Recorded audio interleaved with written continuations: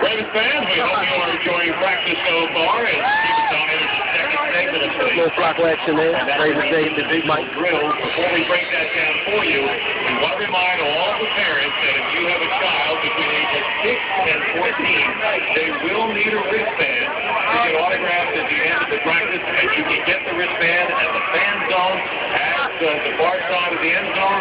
So look at the fan side, get the kids wristband, and they will be eligible for autograph.